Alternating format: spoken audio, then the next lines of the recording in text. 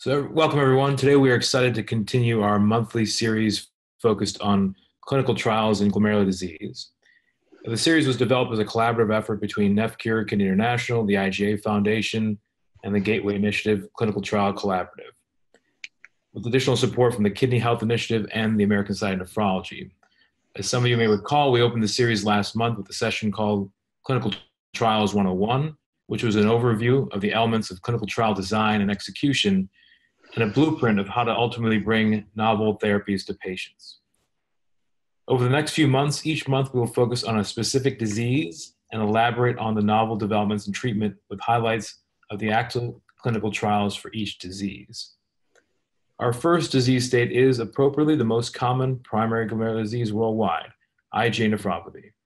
Of course, the irony is that despite its prevalence, there remains considerable gaps in our understanding of how to best target the disease to achieve appropriate kidney protection. In this session, we hope to shed some light on pioneering efforts to overcome this difficulty.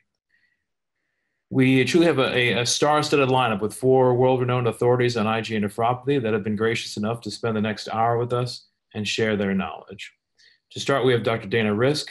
She will provide our context, outlining the essentials of IgA pathobiology, epidemiology, and risk stratification, as well as reviewing the current state of management. Uh, next, we have Dr. Heather Reich. She will present on current understanding of targets and pathways for new drug development in IgA nephropathy.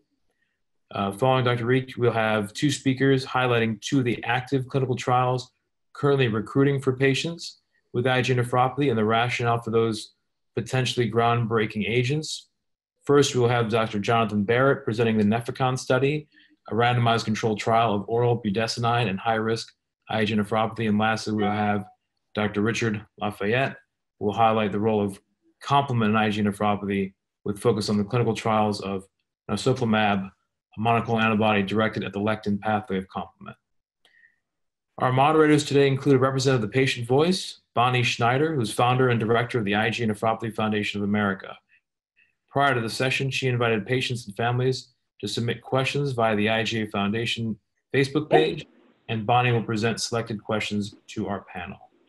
We also have, as before, Dr. Kirk Campbell, Associate Professor of Medicine and Director of Nephrology for Fellowship Program at the Icahn School of Medicine in Mount Sinai, Dr. Ali, Ali Poyan-Mehr, of course, the founder of GlomCon from the Permanente Medical Kaiser Permanente Medical Center in San Francisco, myself, Sunil Udani, and uh, Josh Tarnoff, CEO of NephCure Kidney International. So before we begin, I'd like to once again invite Josh from NephCure to speak about the Gateway Initiative and the goals of these efforts. Thank you, Sunil. Thank you for the very kind introduction and the comments today. And uh, on behalf of NephCure as well as the IgA Foundation, uh, we're honored to be partnering with the GlomCon series. As some of you may not know, if you're joining us for the first time, NephCure Kidney International is a research-based patient advocacy organization, uh, somewhat some forming as the center of the wheel, bringing together academia, government agencies such as the FDA and NIH, along with industry. Some of the, the, the genesis of the Gateway Initiative, if you're not familiar with it, over the past year or so, there's been an explosion in the number of glomerular disease trials, specifically in the nephrotic and nephritic syndrome. We're currently at over 20 of these trials, six of which are IgA nephropathy based. This is up from literally three only three years and again, most of this is changing from the regulatory guidance from with the FDA, uh, allowing the acceptance of proteinuria the surrogate biomarker for EGFR and, uh, and outcomes. What I would ask is uh, if you haven't had a chance, please do check the website under kidneyhealthgateway.com. Uh, it is not just for patients, but it also for clinicians to get familiar with the available clinical trials that are there and to see if your patients qualify, as we do desperately need your help to recruit for these trials that we'll be discussing today. Uh, so again, on behalf of NephCure and the IgA Foundation, uh, thank you for your participation. Thank you, Josh. Um, so we should get started. Our, our, first speaker, as mentioned, is Dr. Dana Rizk.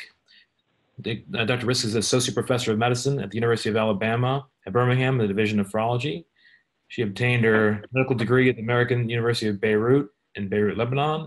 She then to the United States, where she was in St. Louis University, subsequently transferred to Emory University, where she completed a residency, chief residency, and nephrology fellowship. 2008, Dr. Rizk joined the faculty at UAB as a clinical nephrologist providing patient care um, in the inpatient and outpatient setting. She has been involved in the training and mentoring of many fellows and is a recipient of several awards for excellence in teaching. Dr. Rizk is involved in clinical research and since 2015 serves as the director of clinical trials research in the division of nephrology. Her main research interests are appropriately IgA nephropathy and ADPKD. Thank you, Dr. Rizk, for joining us. Uh, thank you very much for the kind uh, introduction and for the invitation today. It's my pleasure um, to start off with this conference. Uh, as you well know, the disease was first described in 1968 by a French pathologist by the name of Jean Berger, and in fact, the disease for the longest was coined Berger's disease. Uh, he described the, the, entity along with Nicole Hinglais, who was an electron microscopist uh, in France as well. And the hallmark of the disease uh, was really pathologic finding, in particular on immunofluorescence, the presence of IgA mesangial deposits uh, that are uh, have to be dominant or the co-dominant immunoglobulin uh, on kidney biopsy. Uh, this is often accompanied with C3 deposition, uh, sometimes uh, IgG in about a third to 40% of cases, and occasionally IgM deposition as well. By light microscopy, the hallmark of the disease is mesangial proliferation. This is, uh, and the hypercellularity noted best on PAS stain, as you can see in panel B. And in panel C, you can see electron microscopy findings of electron dense deposits, again in the mesangial area. Next slide, please. Uh, so as mentioned uh, a, little bit earlier, it's the most frequent primary glomerulonephritis in the United States and in the world. The real prevalence of the disease is unknown for a couple of reasons that I'm going to highlight. Number one, there are studies, uh, autopsy series on patients that died tragically and did not have any known uh, kidney problems, uh, as well as case series from uh, kidney allografts that were biopsied at the time of implantation. Again, uh, presumably these patients have been worked up for transplant donation and had no evidence of nephritis. And despite this, uh, renal IgA deposits were noted in about 5 to 15% of these uh, kidney autopsy specimen or biopsies, suggesting that perhaps there are patients uh, around with subclinical disease that uh, either fare very well or may later on develop the disease, but um, the disease may start way earlier than we think. So the true prevalence of the disease is unknown. The annual incidence in the United States, at least, is estimated to be one in 100,000 persons. Uh, the disease gender distribution seems to be different in the United States versus Asia, for example, where there's a male preponderance in the United States, whereas there's a more equal gender distribution uh, in East Asia. Uh, this, this difference for uh, gender distribution is not quite uh, understood. It's a frequent cause of ESRD, so glomerulonephritis is the third leading cause of end-stage disease in the United States, for example, following uh, diabetes and hypertension, and IgA being the most common GN uh, among that group. Next slide, please. Uh, if we look at the worldwide prevalence of IgA nephropathy, uh, it varies significantly. So this is a map illustrating the percentage of native kidney biopsies uh, showing IgA nephropathy. And you can see uh, that uh, this is much higher uh, in Asia, in particular East Asia, where the percentage of IgA nephropathy found on native kidney biopsies is estimated to be 40 to 50 percent. Uh, then you move to Europe where that um, prevalence drops to 20 to 30 percent, and in North America it's around 3 to 10 percent. Having said that, I would point out that the uh, practice of performing kidney biopsies varies widely among these countries and these continents as well. It is not uncommon, for example, in Japan to have a kidney biopsy done solely on the presence of hematuria, um, whereas in the United States, we almost never biopsy somebody that has uh, only hematuria and no proteinuria. So it may be that uh, the prevalence is not that disparate, but there's certainly a genetic predisposition um, for the disease that varies across the world. Uh, it's also worth mentioning that the disease is extremely rare in Africa, in particular in Central Africa. Next slide, please. Um, so who are the patients that we need to worry about or uh, treat uh, once we make the diagnosis? Uh, so in general, patients with little or no proteinuria have a low risk of disease progression. That's part of the rationale for not biopsying patients that have only hematuria. Uh, and in part, it's the fact that at least so far, we have not had disease-specific treatment also. Um, so subjecting the patients to a biopsy becomes less um, uh, I mean, I guess we, are less uh, uh, likely to subject the patient to the risk of biopsy. Patients, on the other hand, who develop overt proteinuria or have an elevated creatinine uh, will progress and reach end-stage renal disease. And it's estimated that about 50 to 20% will develop ESRD at 10 years and about 20 to 30% reach ESRD at 20 years. And given that the peak incidence of the disease is in patients that are in their 30s, uh, that still could be quite a devastating uh, prognosis.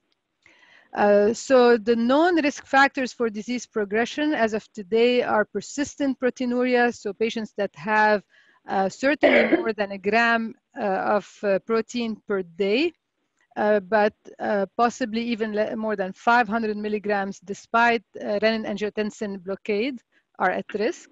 People that have an abnormal EGFR, people that have hypertension, and we have a pathologic uh, classification uh, for IgA nephropathy that you may be familiar with, uh, I'm sure, um, abbreviated as the MEST score, with M standing for mesangial hypercellularity, E endocapillary hypercellularity, S segmental glomerulosclerosis, E tubulointerstitial fibrosis, and C for the presence of crescents. And each one of those um, letters or you know acronyms represents a pathologic finding uh, and is scored accordingly. Uh, the higher the score, the worse usually the prognosis. That's particularly true for people that have segmental sclerosis and tubulointerstitial uh, fibrosis. Uh, high degree of crescents also portends a poor prognosis and a rapidly progressing disease. Uh, more recently, uh, Sean Barbour and uh, some of my colleagues here on the panel have uh, published a very nice IgAN prediction tool that can be used at the time of uh, biopsy to predict who's going to progress and have um, poor renal outcome defined as a 50% EGFR decline or progression to end-stage renal disease in a five to seven years time frame. And uh, the nice thing about it is, uh, first, it's available as an app, so it's easily usable and it uh, requires information that is easily accessible to any clinician. Uh, so the variables used in the prediction tool uh, are EGFR at the time of biopsy, systolic and diastolic blood pressure at the time of the biopsy, uh, proteinuria, age, race, the use of RAS blockade or renin-angiotensin um, blockers at the time of biopsy, the MEST score. They did not include the crescents because they did not have uh, all the data available in their um, validation and the, um, the, the initial, their initial cohort. Um, and uh, you can also include the use of immunosuppression at or before the time of biopsy. So the prediction tool can be used with or without uh, the race information. They both performed fairly well. Uh, and again, it's a great way to be able to select patients uh, that are at risk of progression and therefore would benefit most from treatment or participation in clinical trials. Next slide. Uh, so as of uh, 2019, uh, we still don't have a disease-specific treatment for IgA nephropathy uh, and hence the impetus to move uh, the field forward and um, you know push these clinical trials forward. Um, the treatment so far is based off of the KDIGO guidelines from 2012 that are about to be updated, is my understanding. Uh, but so far, uh, it includes non-immunosuppressive uh, treatment, in particular ACE inhibitors or angiotensin receptor blockers in patients that have persistent proteinuria at more than one gram a day for sure. Uh, the use of fish oil is uh, has not the benefit of using fish oil is not clearly established. However, there is some data to uh, support its use little harm from it. So we invariably uh, will um, offer patients uh, fish, fish, oil if they can tolerate it. The, the tonsillectomy or the practice of tonsillectomy uh, really has not been um, is very controversial again. There is lack of high quality data to support its use. It's only been studied as an adjunct therapy, often on a background of steroid treatment. And it is conceivable, at least uh, some of the data suggest that it may be beneficial in a subset of patients with specific racial or ethnic background, in particular Asians, uh, as opposed to Caucasians, for example, uh, where data from the Valiga study did not confirm the benefit of undergoing tonsillectomy. Next slide. Uh, how about immunosuppressive therapy? Uh, well, steroids have probably been uh, studied the most. Uh, I will only mention two major trials uh, published in the last five years or so. The STOP IgAN trial uh, that was published in the New England Journal included patients who had uh, proteinuria of 0.75 uh, up to a subnephrotic range of proteinuria per day and EGFR is between 30 to 90 milliliters per minute per 1.73 meters square. These patients uh, were initially subjected to six months of supportive uh, treatment that included diet modification, uh, blood pressure control, low salt diet, ACE and ARB uh, use, and titration. At the end of the six months, they were then randomized to either supportive care versus steroids if they had preserved EGFR or Cytoxan, Imuran, and steroid if their EGFR was between 30 and 59. It's worth mentioning that after the six months of run-in period where patients got uh, significant supportive treatment, about a third of patients were no longer eligible uh, to be enrolled or randomized, primarily because their proteinuria improved significantly. Uh, again, emphasizing the importance of uh, lifestyle modifications in our patient population. Uh, but more importantly, at the end of the trial, there was a little bit of reduction in proteinuria and prednisone monotherapy, uh, or a significant reduction, I should say, but there was no difference in EGFR decline during the trial. And importantly, there was significantly higher adverse events in the immunosuppression arm. So again, some benefit at the expense of uh, adverse events. Next slide. Uh, the testing trial uh, that again enrolled patients with persistent proteinuria of more than one gram per day after three months of supportive care uh, and titration of uh, ACE inhibitor and angiotensin receptor blockers uh, included patients that had EGFRs between 20 to 120 milliliter per minute per 1.73 meter square and here patients were randomized at the end of the supportive uh, care period to oral methylprednisolone versus placebo. Um, unfortunately, the recruitment had to be stopped early because of excessive serious adverse events uh, in the treatment arm, uh, mostly infections that were reported at 14.7% in the treatment group compared to 3.2% in the placebo group, so quite a significant increase in infection rate. Uh, so of course, no conclusion can be drawn about renal outcomes or whether there was any benefit, but we certainly saw a trend uh, in improvement uh, of renal outcomes in the treatment arm, uh, where the renal outcome or deterioration in kidney function was noted in 5.9% of uh, patients treated with steroids versus 15.9% uh, in the placebo arm. No conclusion can be drawn because, again, uh, the trial had to be stopped early and they did not reach target enrollment. Uh, it's also worth mentioning that um, mostly or most of the patients that were enrolled were from China. So again, uh, perhaps suggesting that there is an ethnic, um, uh, that, that, treatment may differ in different ethnic uh, subgroups. Um, and going forward, they're trying to um, you know, restart the study, or they did restart the study with lower prednisone doses and also Bactrim prophylaxis uh, to prevent infectious complications. So we'll see if that pans out. Next, next slide. Uh, how about other immunosuppressives? Uh, so uh, mycophenolate mofetil or CellCept, uh, no data to support its use in uh, Caucasians uh, based on the AJK, AJKD trial published um, in 2015. It may be of benefit here again in Asians um, and patients with histologically active lesions, particularly those with endocapillary hypercellularity. Uh, in that trial, it was used with low-dose steroids, so perhaps it can be used as an adjunct uh, and used as a steroid-sparing therapy. Um, so uh, something to keep in mind. Uh, rituximab uh, did not show any benefit and uh, no, no, effect on proteinuria or EGFR in a trial that was uh, led by one of my colleagues on the panel, uh, Richard Lafayette. So no support uh, to use it. Next slide. Uh, so where do we go from here? Um, we still, again, as mentioned in the introduction, have a long way to go in to learn how to treat this disease.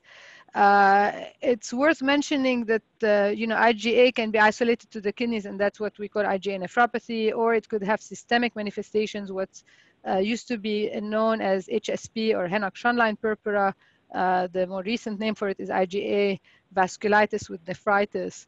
Um, all the tri- so a lot of HSP patients end up, you know, having resolution of their systemic manifestations, but are left with IgA nephropathy or some degree of hematuria and proteinuria, and those have been systematically excluded from all trials. So we still don't know how to treat uh, this subset of patients. Um, so going forward, it's a, it's a subgroup that definitely needs to get some attention. Uh, we definitely need a better understanding of the disease pathogenesis. I did not have time to go through our current understanding of uh, uh, the disease pathobiology, uh, but that will help us identify uh, new uh, targets for drug therapy, and I think Heather is going to go through some of those for sure. Um, we need to understand why patients sometimes have just IgA deposition and some progress to develop disease. Uh, again, um, elucidating these things will help us uh, with treatment modalities. Um, the Kidney Health Initiative helped uh, uh spark uh, the interest in clinical trials as we can now use surrogate outcomes and shorten the duration of the trials uh, using proteinuria as a surrogate outcome predicting kidney dysfunction. Uh, we need to do a better job selecting patients for trials. So hopefully we can now use personalized prediction models. Uh, there are clearly racial and ethnic differences in response to treatments. And we still don't know the value of hematuria uh, in patients that have low level of proteinuria but seem to uh, still have active and active urine sediment. And finally, we uh, definitely need to develop disease-specific biomarkers to assess disease activity and treatment response uh, which would be extremely helpful in clinical trial. And with that, I'll turn it over to Dr. Reich for the next section. Yeah, thanks so much, Dr. Rizk. Um, so we'll uh, uh, transition uh, to Dr. Heather Reich, uh, who um, is at uh, the University of Toronto. She is the um, Zellerman Chair in Nephrology Research and an associate professor. Um, Dr. Risha will be uh, discussing uh, novel targets and pathways for drug development uh, in IgA nephropathy, and this will uh, be a nice uh, segue into discussing uh, two active clinical trials that are in, in phase three. So, Dr. Reich, welcome. Thank you. Um, I have our clinic uh, staff sitting here with us today, a lot of house staff, so good learning environment. Um, so today I'm going to talk very briefly about our understanding of the pathogenesis of IgA nephropathy, which explains uh, the rationale for development of some really interesting compounds uh, to treat this disease. And as you can tell uh, from the nature of this talk, it's an exciting time in IgA nephropathy uh, because we actually now have uh, really a, a flurry of uh, new clinical trials available investigating uh, various pathways and mechanisms of mediation of uh, kidney injury and IgA. Um, next slide, please. So uh, you may be familiar with the multi-hit hypothesis regarding IgA nephropathy, and the number of hits continues to uh, increase. And so it's maybe beyond the four-hit hypothesis now, but it remains an important framework um, that makes it helpful to understand the uh, pathogenesis of IgA nephropathy. Uh, I would divide uh, really the, the concepts into the immunologic or immunopathogenesis side of the disease development and then the injury side of uh, disease development. And on the injury side, of course, we have many pathways that are shared common pathways of other uh, uh results of glomerular injury, such as glomerulosclerosis and tubulointerstitial fibrosis. Um, and so today I'll mostly be focusing on the immune uh, related pathways, but uh, of course to be mindful that chronic injury remains an important area of potential research interest um, and drug development. So on the far left side of the screen would be uh, the triggering or initiating elements in the immunopathogenesis of disease. And you may be able to see uh, some little blue uh, stars, which are supposed to represent micro, uh, microbiota or bacteria, pathogenic and non pathogenic bacteria. And we are separated, our bloodstream is separated from uh, a very large population of bacteria by a single epithelial layer. And as a result, we have uh, evolved to have a um, immediately responding uh, immune mechanism to uh, prevent entry of bacteria into the bloodstream. And of course, one of the main points of contact with bacteria and our immune system is at the level of the gut, um, as well as the respiratory tract. So uh, there is a close relationship and IgA secretion into the lumen of the small bowel is the primary line of defense against invasion of mucosal uh, bacteria. But it's really the mucosal associated lymphoid tissue uh, that is responsible for production of the largest quantity of IgA in the, bo- in the body, but also um, is thought to be the source of IgA at the moment in IgA nephropathy because some of the characteristics of the IgA that is produced by the mucosal associated lymphoid tissue is uh, seen in the immune complexes within the kidney and circulation of patients with IgA nephropathy. And so the mucosal associated lymphoid tissue is the aggregates of lymphoid tissue just below the mucosal surface that you can see represented here. And key in this uh, process is the activation of B cells to become IgA secreting cells. And I'll go into this in a little bit more detail in the next slides, but suffice it to say that B cell activation to produce IgA physiologic and, of course, pathologic conditions uh, occurs by both T cell dependent and T cell independent mechanisms. And cytokines are very important in this process because it helps uh, determine B cell commitment to IgA production and also B cell proliferation. Um, I've put APRIL here as one of the key cytokines. Uh, BAFF would be the other cytokine involved in this process, as I'll go into in a moment. Um, but APRIL uh, is uh, of note. It's also note of TNF superfactor 13, that's the other name for it. And it's of interest in particular because genetic variants in the APRIL gene have been associated with IgA nephropathy risk um, and levels of APRIL uh, and BAFF have been associated with disease severity. So, of course, the uh, commitment of B cells to IgA uh, secreting cells is essential for mucosal immune defense. And the IgA that's produced at the mucosal interface tends to be polymeric in nature And that allows it to be taken by a polymeric IgA receptor, which then spits out the IgA complexes into the lumen of the bowel or respiratory system. And that mops up bacteria, allowing GI elimination and preventing entry into the bloodstream.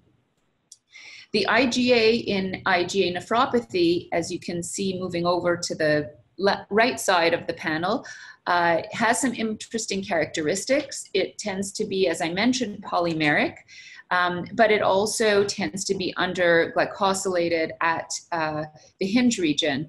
And so galactose deficient immune uh, complexes of IG, polymeric IgA characterize patients with IgA nephropathy, although relatives of patients with IgA nephropathy and IgA vasculitis may also have similar IgA characteristics.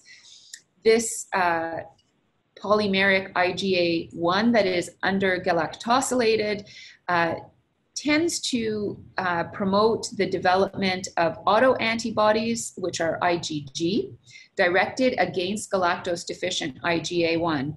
And for those of you who have a bit more immunology background, you maybe it may be surprising to hear that an IgA uh, antibody can activate and fix complement, and that is true. And so it's thought that the immune complex with IgG uh, and perhaps the uh, polymeric nature as well are the elements that make uh, these immune complexes capable of activating complement pathways um, this these pathway these immune complexes pardon me uh, tend to contain components of the complement pathway uh, and are nephritogenic so causing local glomerular uh, mesangial cell uh, and endocapillary cell proliferation and ultimately some of the shared downstream pathways.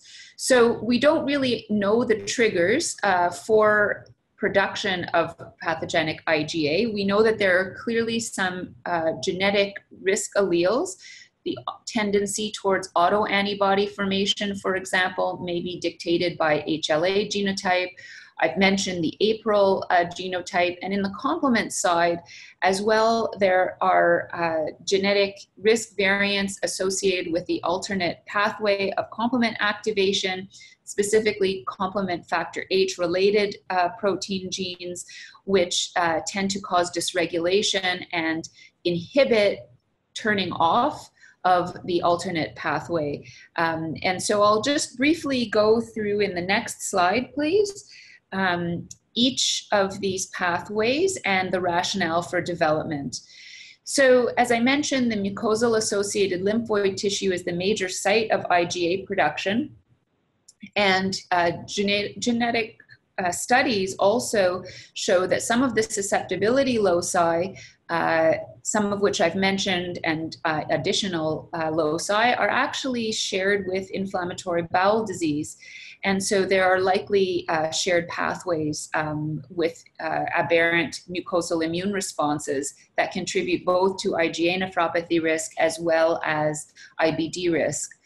Bacteria are essential in shaping the immune system. Uh, mice who are reared without bacteria uh, have a distinctly different immune system and immune response compared to those who are uh, reared with uh, commensal bacteria. And uh, similarly, in humans, our mucosal system, immune system, is shaped very closely by interactions and constant sampling between our mucosal immune system and luminal uh, bacteria. We've not yet isolated uh, particular bacteria of interest. However, a combination of the type of bacteria as well as the mucosal immune response likely contribute. And in the future, this uh, may be an important target for uh, therapy, although, as I mentioned, the it's not clear that we're going to identify one particular pathogenic bacterium. Bacteria, interestingly, also produce IgA1 proteases, and there's been some uh, promotion of using bacterial derived proteases uh, as a therapy in mouse models of IgA nephropathy. And uh, I've just provided that reference, but again, that's not at prime time at the moment. In terms of addressing the mucosal immune response, this is really the rationale for local corticosteroid treatment with Nefecon, which Dr. Barratt will be uh, expanding upon. And Nefecon will have its greatest uh, activity at the terminal ileum, where we have the greatest concentration of Peyer's patches and some of the processes that I'll talk to you about in the next slide. Go to the next slide, please. So B cell activation, as I mentioned, can happen by T cell dependent and independent active uh, processes. And T cell related activity, of course, will be influenced by our current medications such as corticosteroids, uh, mycophenolate, and our usual anti T cell uh, medications. When we're looking at T cell independent activation and to some extent some T cell activation as well. Um, that's where some of the candidates that you will hear about, uh, including the cytokines that cause B cell differentiation and activation, become implicated. So, um, BAFF uh, and uh, APRIL are important in mediating class B cell class switch and uh, allowing naive B cells to undergo activation and become committed IgA producing uh, cells. And we can modulate these pathways using uh, new medications. So, for example, we have BAFF specific inhibitors such as belimumab or Benlysta, uh, a humanized monoclonal antibody that binds soluble BAFF uh, and has been used in successfully in lupus studies. Uh, there is a, uh, an Anthera product that has been had been tested, uh, but the phase three study in, in IgA was withdrawn um, as a BAFF inhibitor. In addition, if you want to interfere with signaling, you can see on the top right corner of the uh, figure BAFF and APRIL exert their effects through a variety of unique and shared receptors, and the TACI receptor uh, mediates signaling by both BAFF and APRIL. And, uh, and then uh, the effects on B cell activity and IgA production are mediated by NF kappa B. And so, directly inhibiting or blocking the effects of the TACI inhibit, uh, receptor or mopping up the BAFF in APRIL prior to binding are another potential target for therapy. And there is a, a drug, atacicept, a compound available for human uh, use. It has been used in the MS uh, literature, not terribly successfully, uh, with some results as well in lupus. There have been over a thousand people treated with these uh, this compound However, there have been some concerns with respect to infection risks and in immune globulin uh, level reduction. And so that will be uh, an ongoing uh, area of interest. Next slide. Uh, plasma cells uh, are another interesting potential target. And as I'll show in a moment, uh, we're not sure which cells are the cells that are producing the IgA. Um, and indeed, the failure of effect of rituximab is of biologic interest as well. And so, if we're looking at more plasma cell directed therapy, uh, proteasome inhibitors are, of course, uh, an interesting candidate and are um, there is ongoing clinical trials uh, in IgA nephropathy. They induce proteasome uh, inhibition, which results directly in cell apoptosis as part of the unfolded protein response. Um, but as well, Velcade and uh, appears to have some anti-inflammatory effects directly through uh, inhibition of activation of NF-kappa B. And so some interesting potential biologic mechanisms, but with, uh, as you're likely all familiar, some significant toxicity. And next slide. Uh, this slide I won't go through in extensive detail, um, but I have provided the reference to indicate that we're still not sure whether plasma cells, plasma blasts, or other uh, uh, cells are the primary culprit in pathogenic IgA production. And not all of these cells are uh, CD19 and CD20 positive. And this may account for the uh, not overwhelming uh, response to rituximab in this disease. Next slide. And this is the final uh, slide, which it, uh, I'll point you to an excellent review by Dr. Rizk, uh, who my our colleague on the call, on complement pathway in IgA nephropathy. Uh, as she has already mentioned, classical lectin and alternative pathway uh, are implicated in IgA nephropathy. And what's written here in blue on the left hand side is the molecule uh, targets of some compounds under development that are being trialed in IgA nephropathy. Uh, on the left hand panel is a review of the full uh, pathway of complement activation, including multiple ways of actually activating the pathway. Uh, and final common uh, production of C5b9 but on the right hand side uh, is a mirror image of this diagram, which was generated from a paper looking at uh, proteomic evaluation of kidney biopsy tissue from patients with IgA nephropathy.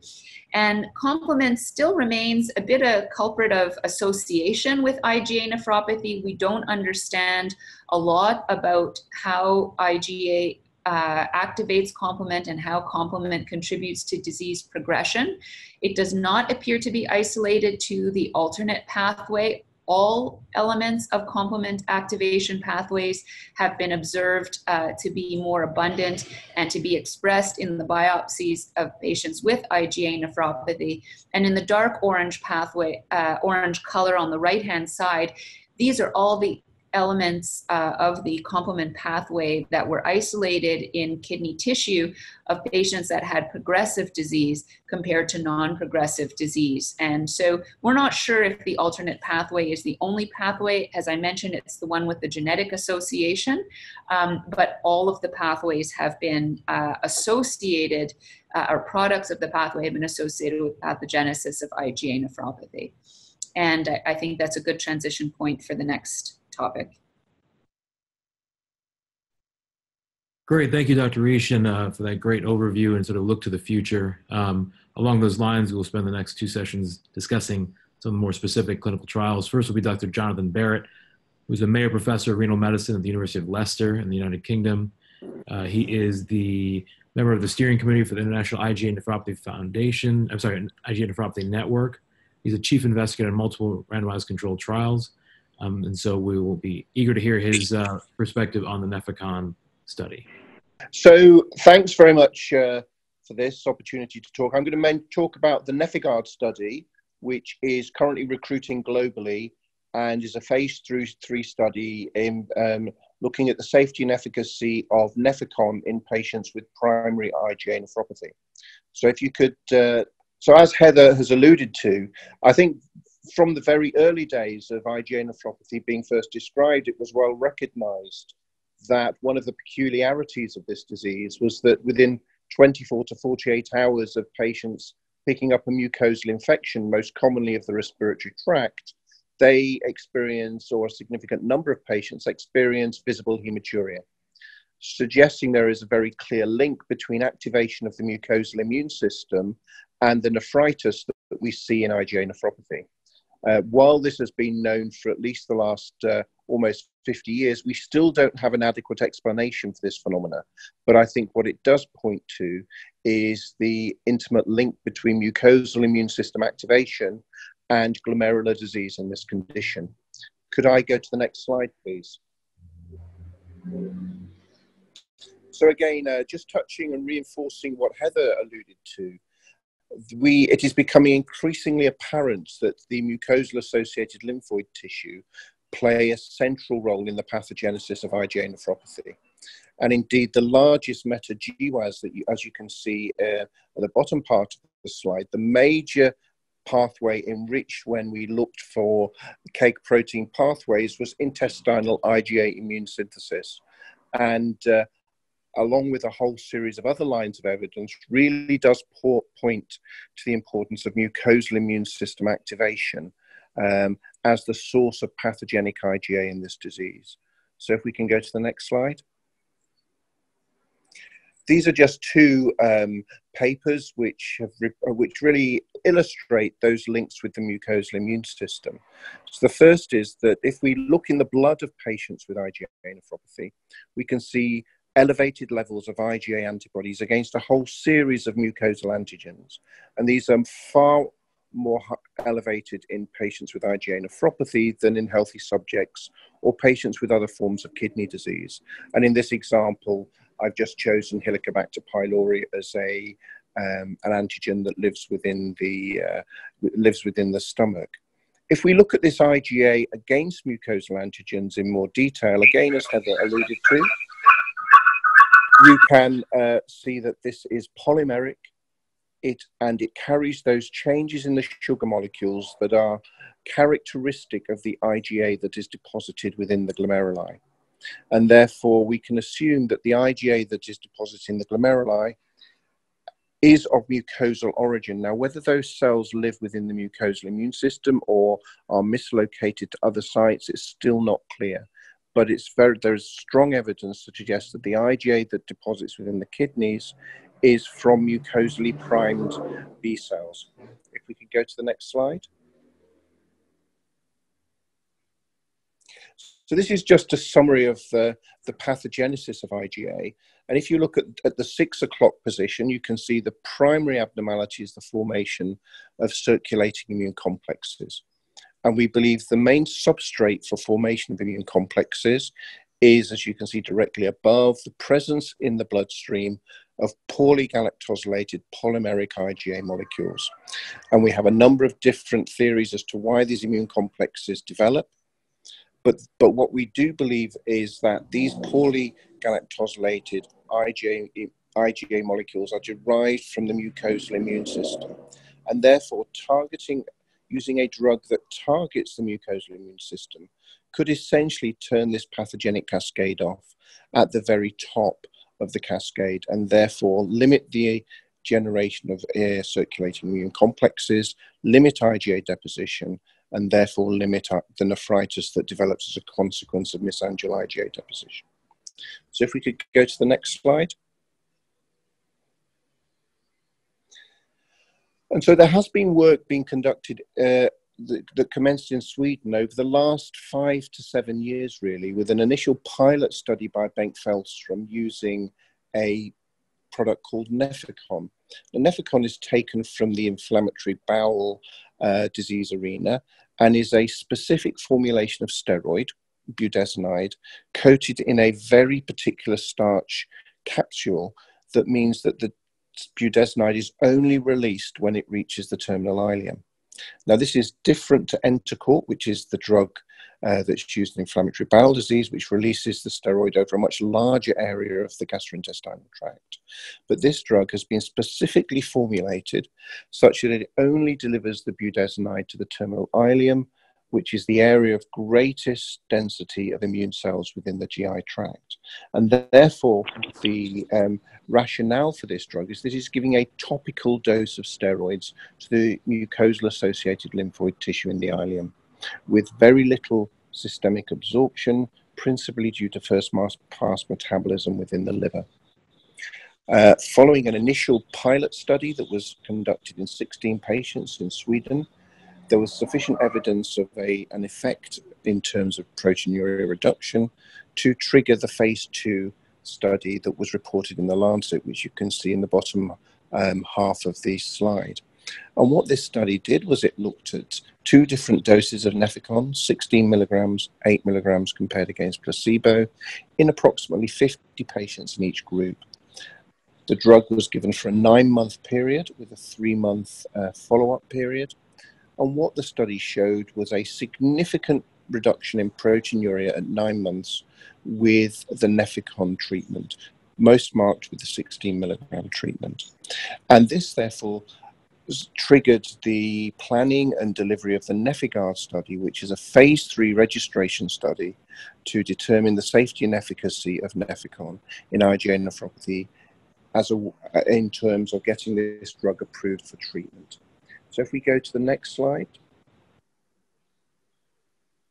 So this is the study layout. Um, and I think it's important to, to really talk through this in a little bit of detail. So what you can see is that there is a screening period. Patients are only eligible if they have been on maximal tolerated dose of RAS blockade with good blood pressure control and despite these maximal supportive efforts have persistent proteinuria above one gram per 24 hours of proteinuria. I'll come to the inclusion and exclusion criteria in more detail on the next slide. So those patients that remain at high risk of progressive renal disease, despite maximal supportive therapy, are randomized to either Nefecon or placebo. There is then a part A of the study which mimics the phase two study, where patients receive the treatment for nine months, and then there is a three month follow up period with measurement of proteinuria at nine months being the primary outcome of the uh, part A of the study. Part B is a follow up uh, part of the study where patients are followed, and the outcome there is the number of pa- is the time it takes for the for patients to um, have a 30% reduction in GFR. As you can see on the right hand panel, there are two objectives. The Part A primary objective is to assess the effect of Nefecon on urine protein to creatinine excretion over nine months compared to placebo, with the Part B looking to see how that reduction in proteinuria translates to a protective effect on GFR. So if we go to the next slide, I just want to finish by really reiterating the inclusion and exclusion criteria. As I say, this is a study that is actively recruiting at the moment. Recruitment is on target, and clearly the, we would hope to have patients recruited as quickly as possible so that we can have a definitive answer on the effectiveness of this drug. And therefore, for people on the call, if you're interested, what we are looking for are patients over the age of 18 diagnosed within 10 years by renal biopsy, as I say, on a stable dose of maximally tolerated RAS inhibitor for three months prior to screening. Proteinuria based on two consecutive measurements are showing a proteinuria greater than one gram per day or a UPCR greater than 0.8 grams per gram and an EGFR between 35 and under 90. Exclusion criteria are those that you can read here, but again, as Dana mentioned, we are excluding patients with secondary IgA and in particular HSP. We are not including patients with, kidney with a kidney transplant or who have poor risk factors, including high blood pressure. We don't want to include patients who have uh, predefined gastrointestinal disorders because clearly this will affect the uh, absorbance of the drug and we are we are excluding patients who have had significant immunosuppression in the immediate uh, past. Um, I'm going to finish here and hand over to Richard, who's going to talk about complement inhibition. Um, but as I, if anyone would like to have more information about this study, please don't hesitate to contact me uh, after the webinar. Thank you. Thanks so much, Dr. Barratt. So our next and final presenter is uh, Dr. Richard uh, Lafayette uh, from Stanford University, where he's a professor of medicine and director of the uh, uh, Stanford Glomerular Disease Center. Dr. Lafayette will talk about emerging therapies for IgA nephropathy with, uh, as you've heard, a focus on complement targeting agents and in particular OMS 721, currently in phase three study. So Dr. Lafayette. Between we can perhaps get started with a few questions. And perhaps the most important person to ask in the field would be patient voice. So, uh, Schneider, Bonnie Schneider, is the founding director of the IgA uh, Nephropathy Foundation of America. Uh, she kindly is joining us to represent Patient Voice and bringing along a few questions from the patient group here for us. Uh, so, Ms. Schneider, if you can introduce yourself and, and uh, tell us a little bit about your organization and then also share any questions or concerns coming from the patient perspective. I would be happy to. I'm honored to be on this call today. I'm super, super excited on behalf of myself and all of our patients. Um, I believe there's thousands of them now, over 12,000 in our Facebook group. Um, we're very excited. We're, we're very rarely a topic of conversation. So this is really good. And I do believe we have several patients on the call today. A little bit of background. My son was diagnosed 15 years ago with IgA nephropathy and I was looking for somewhere to go, somewhere to turn, uh, get the support that I needed, and there wasn't any. So 15 years later, here we are, and we now have support for one another. Um, so there's been a lot of questions um, in our Facebook group. It's like a clearinghouse of people trying to help people, but um, we're always looking for answers from our doctors. One of the big, biggest things um, I think is the biggest problem with everybody is diet uh, gluten free versus is keto diet safe? It seems to be occurring over and over. If anybody could shed some light on that, I know IgA nephropathy is an, a disease of inflammation. My son is gluten free, and I think it really helps him. But if you could um, answer that for some of our patients online, that would be awesome. So we can pass on this question to uh, our expert panelists, perhaps starting off uh, with Dr. Reich. Uh, you um, alluded with regards to the pathophysiology of IgA nephropathy. Can you comment on that? Sure. So um, this is a question that I get all the time in clinic as well. There's there's no question that there is a link between gut health and gut immune responses and IgA uh, production. The link between diet, though, and in particular gluten, uh, is quite shaky in IgA nephropathy. Dr. Barratt has done some work in this area and can share some results. Uh, but you know, for a subgroup, a very small subgroup of patients, there will be some anecdotal uh, associations, but from a scientific perspective and population perspective, we can't identify that gluten is uh, a major culprit in IgA nephropathy. So I do not generally advise a gluten free diet. Uh, of course, if people feel better when they're gluten free, because you know some people are sensitive to gluten but not necessarily gluten intolerant, um, if they feel better, great. Uh, but we do not advocate because the scientific data are really lacking.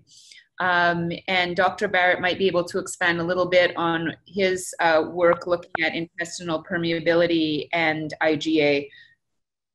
From the paleo perspective, uh, weight and BMI are uh, associated with risk of progression. So, not on the immune side, but on the general progression side of things. So, being at a healthy weight is always optimal. I'm not a, a major proponent uh, of the ketogenic diet uh, unless people have things like underlying glucose, uh, blood sugar, borderline diabetes, blood sugar intolerance, uh, where uh, any form of weight management tends to be healthy. So uh, we don't particularly recommend any type of diet aside from you know low sodium uh, diet to people if they are healthy weight. If they are above uh, healthy weight, then any form of, of weight management seem that is safe seems to be okay. And perhaps Dr. Barratt has a few comments. Yes, um, thanks, Heather. I I, I, agree with Heather. I don't think there's any systematic evidence that withdrawal of gluten helps everyone with IgA nephropathy, although there will be some people who have an underlying gluten sensitivity that will benefit. The only randomized study looking at gluten withdrawal in general IgA nephropathy patients failed to show any benefit or long-term benefit, should I say. So, so my advice in parallel with Heather's is that if you feel better on a gluten-free diet, then please continue. But I don't advise any particular dietary modifications as a rule of thumb in patients with IgA nephropathy, other than the general healthy life diet that we have, you know, the five a day, and if you're overweight, dietary restriction to try and get back to a normal BMI. But I don't think there's any evidence for any particular diet. And just like Heather says, I get asked this all the time. Uh, and uh, I think that a healthy diet is by far the most important uh, um, advice I can give my patients. So, um, moving on, uh, talking about emerging therapeutic targets for IgA nephropathy, we'll be focusing on the Artemis trial, taking advantage of our new ability to block several components of complement. We've already reviewed that the current treatments for IgA nephropathy are lacking with blood pressure control, even using ACE inhibitors and angiotensin 2 receptor blockers making a good impact, but um, only slowing the disease and for too many patients, allowing them to progress towards chronic kidney disease. Um, immunosuppression uh, in the form of steroids may be too dangerous for any perceived benefits, and cytotoxic drugs, mycophenolate, are unclear on their impact. Old studies with IVIG are still of some interest, but too expensive to use uh, with too little data. And again, diet is likely to be important. Fish oil is likely not to be, and tonsillectomy remains controversial without sufficient evidence. Next slide. So uh, as Heather nicely outlined, the complement system is of very focused interest in IgA nephropathy. Again, uh, with the development of immunofluorescence, we clearly saw the fact that tissue deposition of C3 was an important factor in IgA nephropathy. As you can see, the complement system relies on either the classical pathway, alternate pathway, or lectin pathway. But with the Artemis study, we take advantage of the development of OMS 721 or NARS, excuse me, narsoplimab uh, to be able to block MASP2 and hopefully block downstream uh, cytokine driven and cytotoxic driven effects of complement. Next slide. And as Heather also alluded to, there is a large amount of circumstantial data linking complement activation and poor outcomes in IgA nephropathy, including genetic evidence, mostly looking at the alternate pathway and the fact that factor H may play a role, a lot of serologic evidence looking at, again, alternative pathway activation in many patients who have IgA nephropathy, decreased serum complement levels, even relative decreased serum levels playing a role in um, the decline of kidney function that occurs.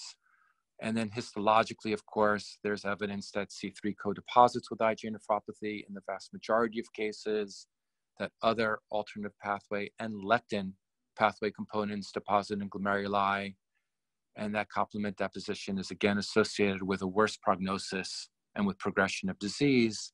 And then finally, in uh, models of IgA nephropathy, IgA can activate the alternative pathway. Polymeric IgA can bind uh, membrane bound lectin in vitro. Mesangial cells express C3A and C5A R1 and can respond to these complement fragments. And again, that there's evidence of cytokine production in response to the anaphylatoxins, which are part of an activated complement system. So again, there's very wide evidence that um, complement is activated in IgA nephropathy. Next slide.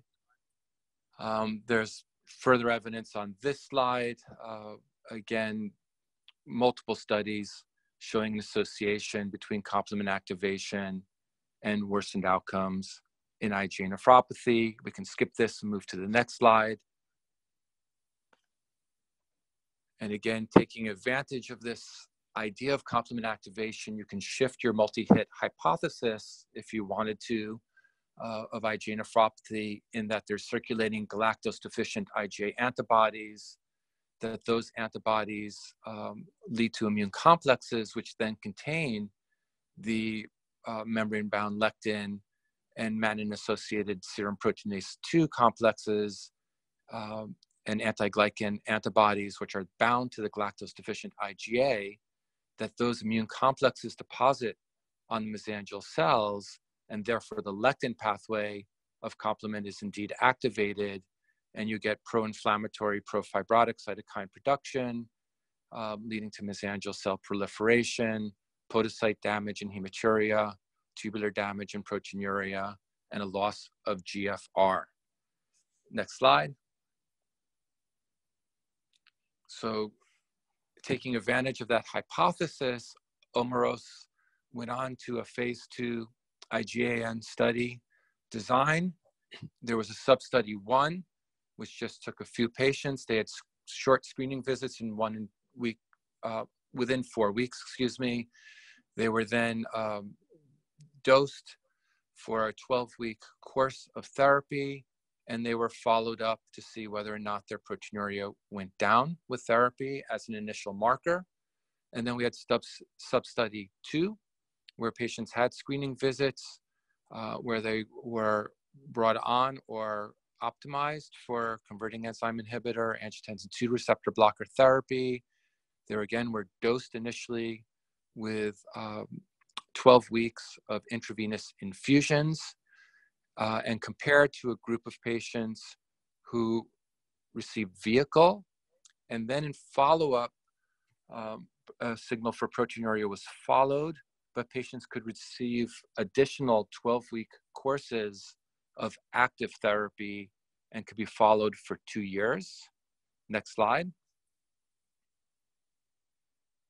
And as you can see in this phase two study, First, on the far right, you could see in four subjects who were treated, uh, who had substantial proteinuria, reduced kidney function, and were treated with 12 weeks.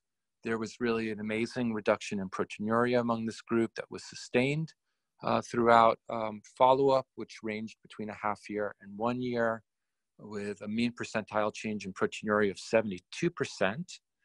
In sub study two, where patients were treated uh, with active therapy versus vehicle at the end of the first treatment phase, the first follow-up showed no difference with a reduction in proteinuria 20%. And then all patients received active drug and followed up uh, six to nine months later. The entire population again had a very impressive reduction of proteinuria of 61%.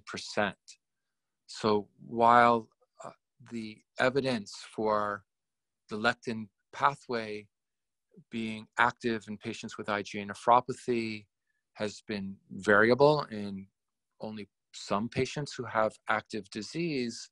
In these phase two trials that just took all comer IgA nephropathy with substantial proteinuria on active therapy, there's a signal that their proteinuria can be reduced substantially. Next slide. And that brings us to the active global phase three study of narsoplimab in IgA nephropathy uh, with key inclusion and exclusion criteria as listed here. It's a study of adults with biopsy confirmed IgA nephropathy with a biopsy occurring within eight years prior to screening. Uh, they need to have a sustained proteinuria of greater than one gram per day, um, despite maximal therapy with RAS inhibition. They need a mean of two proteinuria measurements greater than one gram per day at baseline and a GFR greater than 30 mils per minute. The key exclusion is pretty standard. If they're actively receiving immunosuppressants, they are out. If they get any other complement inhibitory therapy, they're out. Um, if they have rapid progression of their disease defined as a fall uh, in GFR of more than 30 mils per minute in the half year before evaluation, if they have uncontrolled blood pressure, um, if they're, of course, women who plan to get pregnant, or if they have active diabetic nephropathy or another active disease. Next slide. And this is how the program looks for the phase three study is that patients are again screened uh, to see if they have the right biopsy, proteinuria, blood pressure. There's a run-in period of four to 12 weeks to assure that they're stable and that they have optimal blood pressure control and RAS blockade. They're then treated for 12 weeks in a one-to-one randomization to um, placebo, and then they are followed. And what's unique about this study is that the primary endpoint uh, will be at week 36 for proteinuria, uh, but patients can be retreated if they don't have an optimal response, and they can be retreated for an additional 12 weeks, at least every year, uh, for the secondary follow-up, which as you can see will follow patients up to three years of follow-up looking at GFR. So the primary outcome is indeed the proteinuria signal, looking for a significant reduction in proteinuria, and then secondary outcome will be looking at stability of kidney function. And that's the Artemis trial, and I look forward to talking to you more about that and apologize for technical difficulties. So thank you for your attention. Thanks, Dr. Lafayette. Um, so perhaps now we could go back to uh, Bonnie. I know Bonnie had some additional questions from the patient community. Um, Bonnie, you on the line? Here, thank you. Um, before I go on, I just wanted to reiterate what um, Josh and the NephCure team said earlier. Uh, we have a lot more participants on the line when he was first speaking about the um, Kidney Health Gateway. It's a really, really important time for uh, these trials. So again, I please um, send your patients there. And patients that are on, please visit Kidney Health Gateway.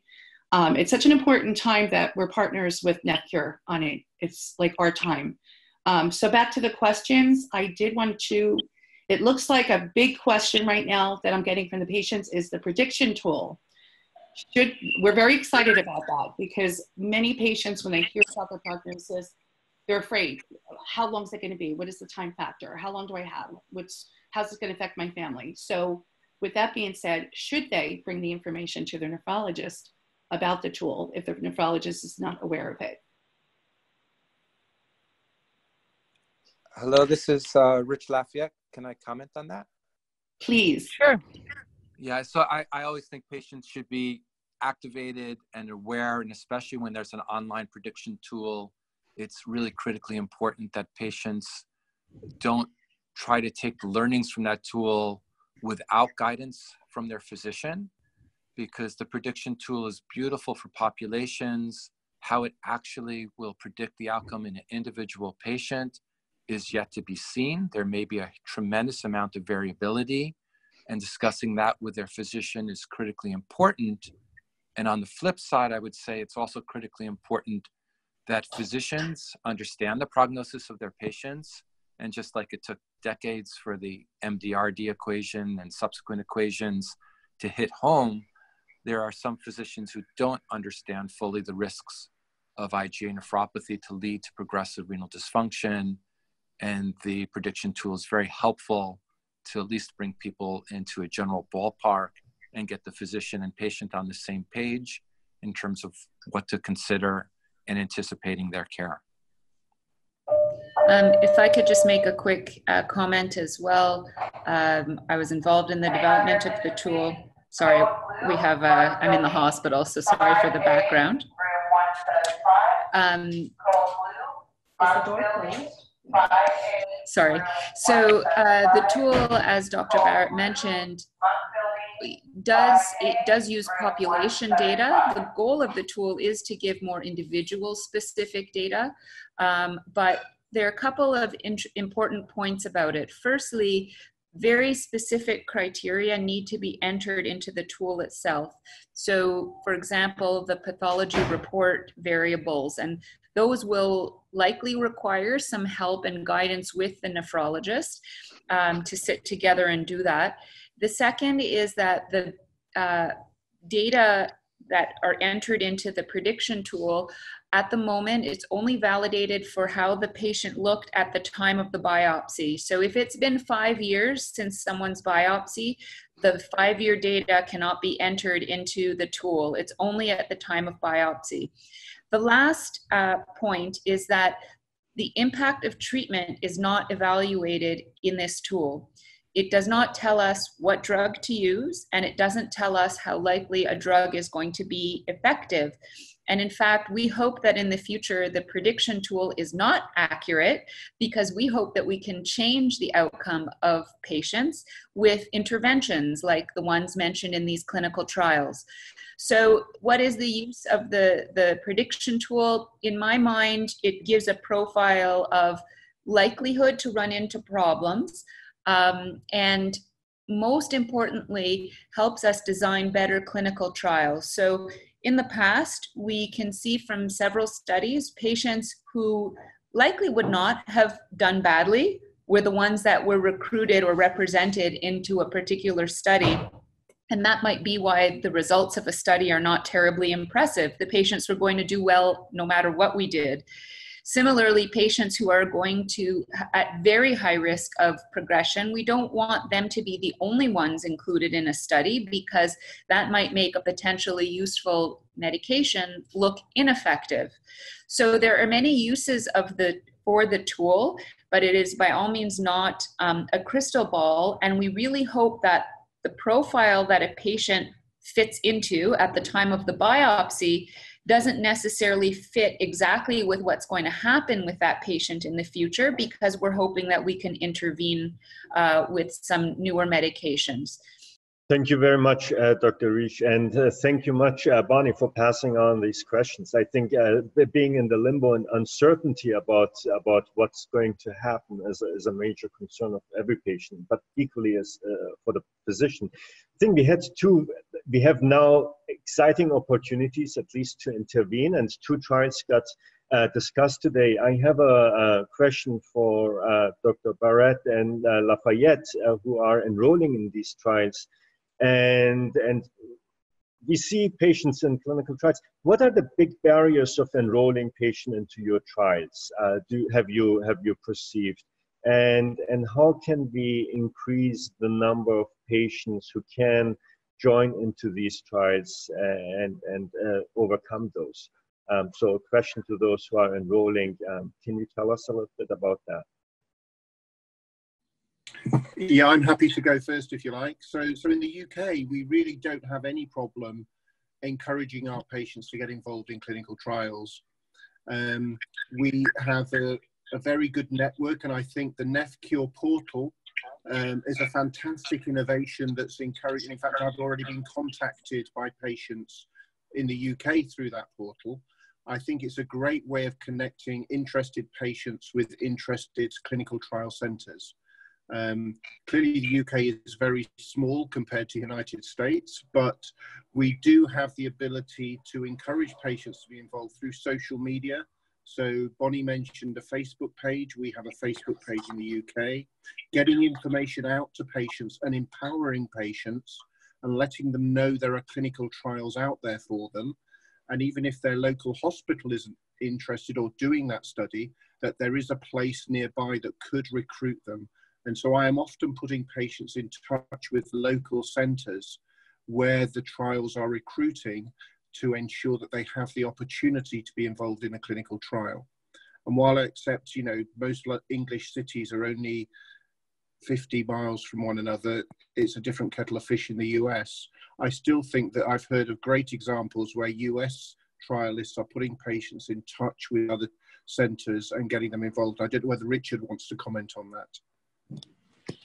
I would I, I, would simply add that it's just critically important to get word out to physicians taking care of patients of IgA nephropathy and patients. There's a lot of fear and mistrust sometimes that investigators really are abiding by standard of care, that patients will get close follow up and good concern for whether they need to exit studies that they really will be very good communication between the study team and referring physicians, and that certainly will send patients back to referring physicians and that they won't lose their relationship, either patients with their physicians or physicians with their patients. But clearly, it's critically important to move the dial forward. Uh, these studies and others allow patients the opportunity and physicians the opportunity to create a brighter future, uh, to lead to new therapies, to understand the disease better, and that's just critically important. Thanks so much, uh, Richard. I'll just ask a follow up. Uh, so the inclusion exclusion criteria um, for these two studies they're a bit subtly different. Um, uh, I believe you're involved in both. I mean, are there special patient characteristics you'd look for um, for each uh, study uh, in terms of directing individual patients? Uh, that's a great question, Kirk. I, I, I, don't think there's a real differential. we we try to sit patients down, at least at my center, talk about the drug development, what the individual trial offers them, and what the sort of experience will be within the trial. There are subtle differences like the time from biopsy, uh, how low the GFR goes, with it being a little bit lower in Artemis than in Nefecon, but a lot of the patients overlap. And as both trials are geared towards reducing inflammation, reducing the risk for progressive fibrosis, most patients can end up making their own decision. So I try not to have a predisposition of what kind of patient I think goes into what kind of trial, but I try to describe it very well for the patients and try to help them make their own personal choice move forward. Thank you. Are there general questions from uh, those in attendance remaining? We have 72 people still on the call. Yes, hi. Can you hear me? Yes. Yes, hi. So I'm a, a patient, 44 years old, just got diagnosed uh, about six months ago. And I, I could probably speak for most of us online that are patients uh, with this disease. You know, as we as we look at these trials, um, and as you were just discussing, and, and we try to to figure out which trial we w- would want to uh, try to get randomized into. Could you help us understand, any one of you on the panel, a little bit more in depth on the differences on the pathways, like the lectin pathway, the C complement versus, you know, NefIgArd and Nefecon with the budesonide blockade of the IgA, maybe galactose deficient galact, um, immunoglobulin A as well, um, just so that we can maybe have a better idea of which which agent, although both promising, might help steer us towards one versus the other. Um, just so we have a better understanding of it, because they're two different, two different, two different uh, medications, right? Obviously, so maybe a little deeper understanding for us along those lines would be very helpful. Dr. Barratt, did you want to opine on that? Yeah, I mean, that is the question every patient asks me which one is going to be most likely to help me in my kidney disease? And I have to be perfectly honest, and it's not the answer you want to hear, is I don't know. And that's why we're doing the trials. And actually, I think in the fullness of time, what we will find that us as clinicians will end up using a number of these drugs together because they're impacting on the disease at different parts in the pathogenic cascade. Um, and at the moment, if, if I personally had IgA nephropathy, I'm, I would be looking at each of these trials and I would be, I would not pick one over another because I think they're more or less likely to work. I think, as Richard said, I would sit you down and I would talk you through the practicalities of what the trial involves. And I would go through what that entails for you in your daily life and allow you to come to a decision. But I would not promote one of these above another, knowing, and everyone on the panel has a long experience of, of, understanding of the pathogenesis of IgA. And I personally cannot say that one of these will be better than the other. I think they're all likely to be incredibly useful in the fullness of time if we show that they work.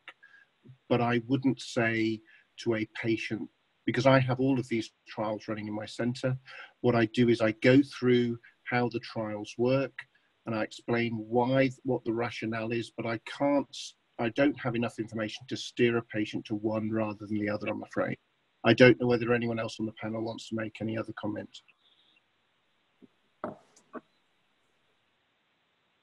Dr. Rizk or Arish, any comments on that? I mean, I, I agree with Dr. Barratt. Fundamentally, we shouldn't be offering patients access to multiple trials if we have some knowledge that one will work better than another. So I encourage patients to really look at what try, what study fits best into their involvement. So, for example, um, the Omeros study is you know quite frequent visits and uh, some of those visits can take a little longer. Uh, so if you live three hours from the hospital that's offering the study, that might be less convenient. And it, it really does come down to those to those factors. Uh, Nefecon is uh, has some. Uh, they're also at slightly different phases of drug development, uh, and so it, it's biologically it's really tough to say that one is likely to work better than the other, and clinically, uh, clinicians who are offering those studies, and uh, as a disclosure, we are also running both studies. We, we can't go into this knowing that one of them is better. So, so I would echo exactly what Dr. Barratt said. The only comment I would add is sometimes highlighting the what you mentioned the logistics of the trial in terms of involvement, IV versus oral agents, and then the you know some of the side effect profile may be known from earlier phase uh, data and that may be worthwhile to share to help guide what patients expect Great, and perhaps with this, uh, we we let it uh, be for this session. We could certainly speak uh, much longer than that. We already uh, went beyond 30 minutes. And thanks so much our speakers uh, today, uh, Dr. Rizk, Dr. Barratt, Dr. Reich, and Dr. Lafayette, uh, to be with us and share their expertise. Uh, we want to thank uh, the NephCure Foundation for uh, helping bring this alive and the Kidney Health Initiative and ASN to supporting this and endorsing our program here. Um, we have the same session again, similar on FSGS uh, next month, uh, September 3rd. So please uh, come back and join us again for a further discussion on clinical trials in that domain. And in the meantime, uh, thank all our participants who joined, I think, from as uh, west as Hawaii and as east as Malaysia today. Uh, so truly, clinical trials a global effort, and trials are recruiting internationally. So uh, Uh, connect uh, connect with the community. Uh, check out the Kidney uh, Gateway Initiative, the website, and uh, we will distribute that on our email for trial identification and study enrollment. So thank you all again. Have a wonderful day, night, uh, evening, wherever you are, and we see you back next month, September 3rd. Thank you. Thank you. Thanks, everybody. Thank Bye. you. Thank you.